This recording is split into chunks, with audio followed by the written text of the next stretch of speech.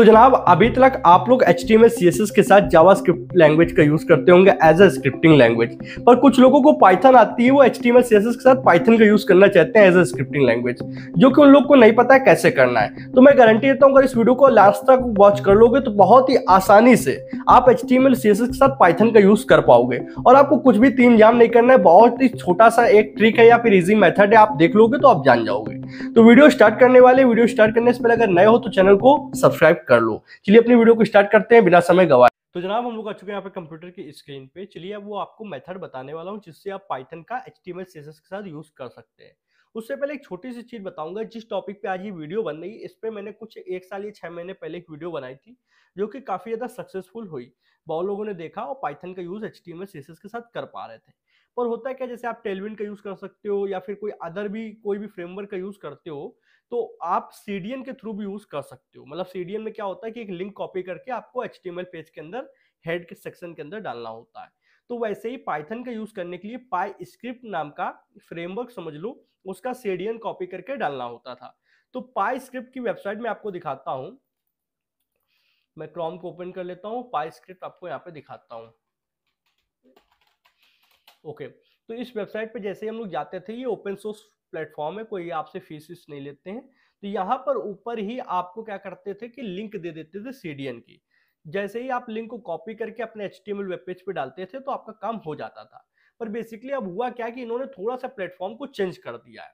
अब चेंज करने के कारण जो सीडीएन की लिंक है, वो लोगों को मिल नहीं पा रही है। और डॉक्यूमेंटेशन पे भी जाने के बहुत अंदर अलग अलग मेथड इन्होंने कर दिया है। और इसको कनेक्ट कर पाना एचटीएमएल पे वेब पेज से पहले की तुलना में अब कठिन हो गया है।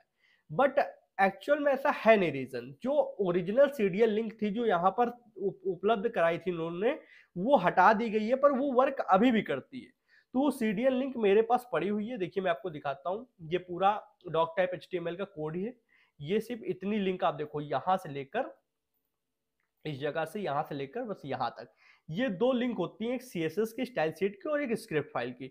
अगर ये लिंक आप कॉपी करके अपने वेब पेज में डाल देते हो, देन आप स्क्रिप्ट के तौर पे पाइथन का यूज़ कर पाओगे।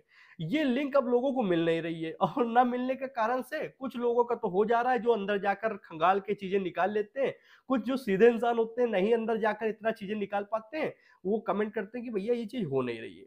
अब जब मेरा कोई वीडियो बनाने का मोटिव ये होता है कि हमेशा वो एवरग्रीन वीडियो रहे और लोग उसका यूज़ कर पाए, उससे चीज़ें कर पाए। और अगर कुछ लोगों का नहीं हो रहा है तो उनके लिए मैं अपडेट लेटेस्ट वीडियो ये बना रहा हूँ।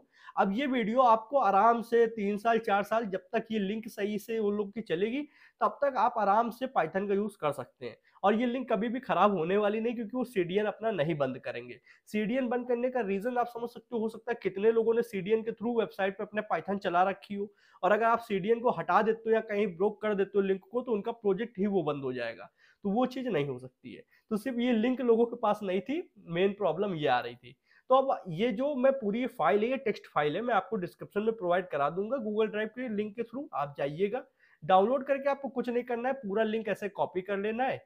और अगर मान लो नहीं कॉपी करना है, आपने पहले से कोई इंडेक्स एचटीएमएल फ़ाइल बना रखी, मान लो जैसे यहाँ पर इंडेक्स डॉट एच मैंने बना रखा, और यहाँ पर आपने इस तरीके की बॉयलर प्लेट ओपन करके रखी है।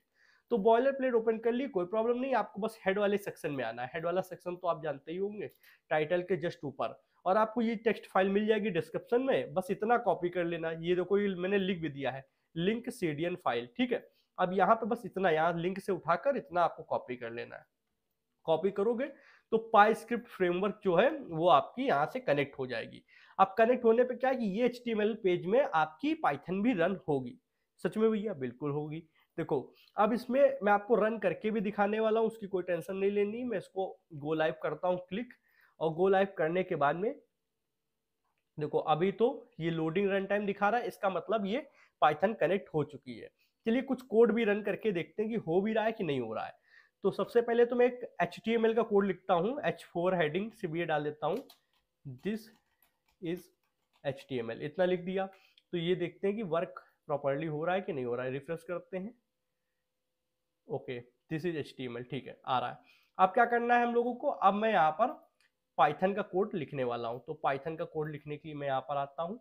और जैसे आप अभी तक जावा स्क्रिप्ट लिखते थे, अगर आपको एचटीएमएल वेब पेज में जावा स्क्रिप्ट लिखनी है, देखो दो तरीके से, वैसे तीन तरीके होते हैं, पर मेनली दो तरीके होते हैं, अगर जावास्क्रिप्ट आप लिंक करते थे। एक इंटरनल एक एक्सटर्नल इंटरनल में क्या होता था? स्क्रिप्ट टैग आपको यूज़ करना होता है इस तरीके से। और स्क्रिप्ट टैग के बीच में आप यहाँ भी जो भी जावास्क्रिप्ट का कोड लिखोगे, जैसे कंसोल डॉट लॉग लिखते थे हम लोग कंसोल डॉट लॉग हेलो ठीक है? ये मैंने लिखा तो ये रन हो जाएगा। मैं आपको दिखाता भी हूँ, मैं यहाँ पर आऊँगा और एक बार फिर से रिफ्रेश करूँगा, क्योंकि यहाँ पे पाइथन लगी हुई है तो आपको रिफ्रेश करना होता है। इंस्पेक्ट पे जाएँगे कंसोल पे जाएँगे और कंसोल विंडो पे मैं एक सेकेंड की यहाँ से कंसोल पे जाता हूँ और जस्ट अ सेकेंड में इसको क्लियर करता हूँ सबसे पहले। कंट्रोल एल और फिर से पेज रिफ्रेश करता हूँ। ये देखिए हेलो ऊपर आ रहा है, ठीक है? तो इस तरीके आप जावास्क्रिप्ट रन कर सकते हो। बट आप ये समझो कि एच में आप जावास्क्रिप्ट रन करना जानते थे कि ये इंटरनल तरीका है और एक एक्सटर्नल तरीका होता है जिसमें आपको जावास्क्रिप्ट फ़ाइल लिंक करनी होती है अलग से बना के। उसी तरीके से मैं पाइथन को भी दिखाऊँगा कि पाइथन इंटरनली यहाँ पर कैसे लिख के आप चला सकते हो। और अलग से फ़ाइल बनाकर भी कैसे चला सकते हो? कुछ नहीं करना जैसे स्क्रिप्ट टैग लिखा है, इसके आगे लिख दो पी वाई। पी वाई मतलब पाइथन, और ये एक निशान होता है, इसको आप माइनस के निशान बोल सकते हो, पर ओरिजिनल नाम हाइफन होता है तो हाइफन का निशान लगा देना होता है। अब मैं आप एक पाइथन का सबसे सिंपल प्रिंट कमांड लिख देता हूँ, ठीक है हेलो और ये लिखने के बाद में आप सेमी कॉलन इसमें नहीं भी लगाते, तब भी काम चल जाता है। मैं इसको रन करता हूँ रन करने के बाद देखते हैं कि ये प्रिंट होने के बाद हेलो यहाँ पर लिख के आता भी है या नहीं आता है? तो लोडिंग रन टाइम ये इसलिए कि पहले ये पाई स्क्रिप्ट के सर्वर से कनेक्ट करता है फ्रेमवर्क से देन ये यहाँ पर शोकेस करता है। और आप लाइव सर्वर के थ्रू चेक कर रहे हैं, तभी इतना और थोड़ा टाइम लेता है। अगर आप डायरेक्ट ब्राउज़र पर फ़ाइल ओपन करते देन ये हो जाता। अब यहाँ पे देखिए, मैंने पाइथन का एक कोड लिखा है पाई स्क्रिप्ट में, और अगर ये चल जाता है देन आप ये समझ लीजिए कि पाइथन आप रन कर पा रहे हैं। तो एक काम करते हैं, मैं इसको ऑफ़ करके दोबारा से ओपन कर देता हूँ, क्योंकि एक्चुअल में हो क्या रहा है? जब ऑलरेडी एक बार चीज़ रन हो चुकी होती है तो कभी कभी ये टाइम ले लेता है। दिस इज़ एस ये तो एस का है, और ये देखो हेलो हेलो आया लिख के, ये कहाँ से आया? पाइथन के कोड के थ्रू आया। क्योंकि एचटीएमएल में तो कोई प्रिंट कमांड होती नहीं है, या आप भी जान सकते हो। और जावास्क्रिप्ट में भी प्रिंट कमांड होती नहीं है, ठीक है? सी लैंग्वेज में प्रिंट एफ़ होता है, सब में अलग अलग होता है, ठीक है?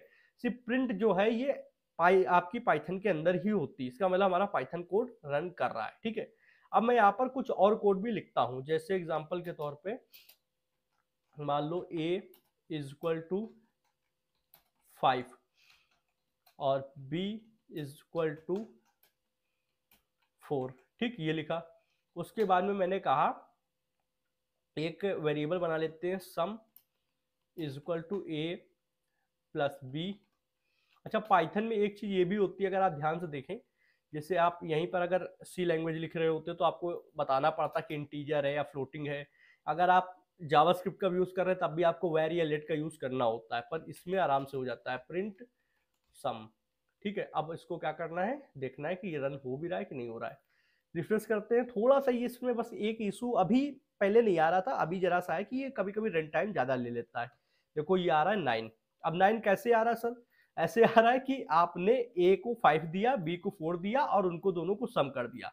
अब कॉमन सेंस की बात है कि एच में आप कैलकुलेशन नहीं कर सकते हो लॉजिकल जो आपका एक तरीके से ऑपरेशन होता है वो नहीं कर सकते हो, ठीक है? पर आपको यहाँ पे पाइथन में ये कोड रन हो रहा है। अब हम लोग क्या करते हैं कि एक्सटर्नल फ़ाइल बनाते हैं पाइथन की उसमें रन करके देखते हैं। तो मेन डॉट पी नाम से मैंने बनाया। अब इसमें क्या करते हैं, ये जो हमारा कोड है, ये वाला, ठीक है? इसको क्या करते हैं पाइथन में लिख देते हैं। पाइथन फ़ाइल में। ये एक्सटर्नल फ़ाइल को कैसे लिंक करना है? पी वाई स्क्रिप्ट लिखा है। अब जैसे आप यहाँ पे, मान लो जावा स्क्रिप्ट में लिंक करते थे सेम उसी तरीके करना है। एस एक एट्रीब्यूट होता है, और यहाँ पे आपको अपने फ़ाइल का नाम डालना है।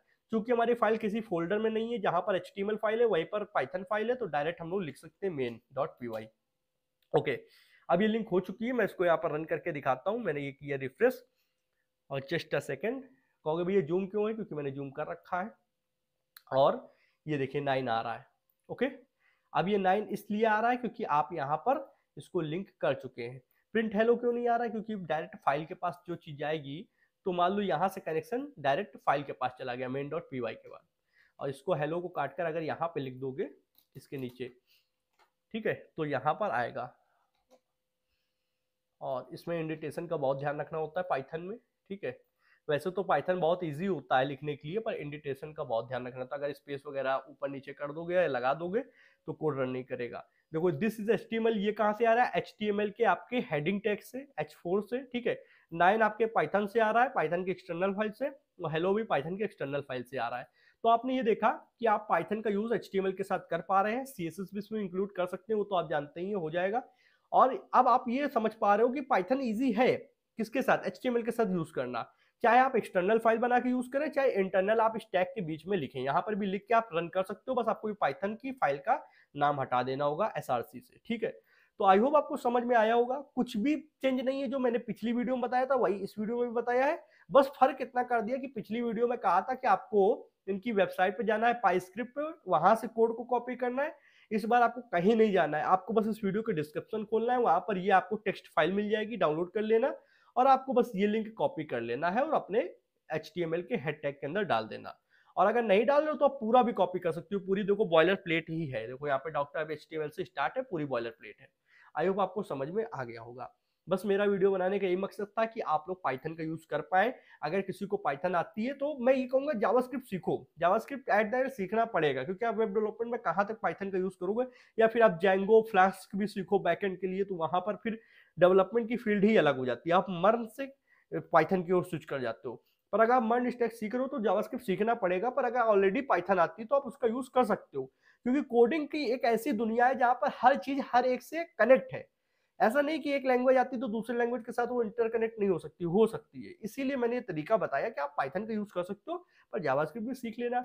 और जावास्क्रिप्ट सीखना चाहते हो तो डिस्क्रिप्शन में आपको कंप्लीट फ्री कोर्स का लिंक डाल रखा है। जाना, पूरी प्लेलिस्ट बिल्कुल स्ट्रक्चर वाइज प्रोफेशनल लेवल पर बना रखी है। एक भी वीडियो पढ़ लोगे तो फ़ैन हो जाओगे कि भैया कितना अच्छे से पढ़ाया है और आप पूरी प्लेलिस्ट आप पढ़ोगे। प्रोजेक्ट भी काफ़ी ज़्यादा बनवाए हो। अभी भी मैं बनवा रहा हूँ, डाल रहा हूँ उसमें टॉपिक कवर कर रहा हूँ। काफ़ी सारी वीडियो मैं अपलोड कर चुका हूँ। इसी साथ अपनी वीडियो को विराम देता हूँ। वीडियो पसंद आए तो एक लाइक कर दें। चैनल पर नए तो चैनल को सब्सक्राइब कर लें बेलाइकन प्रेस कर ले, जिससे interesting coding video question notification आप लोग को मिलती रहे जनाब आज की वीडियो में इतना ही था। थैंक्स फॉर फ्रेंड्स जय हिंद, जय भारत।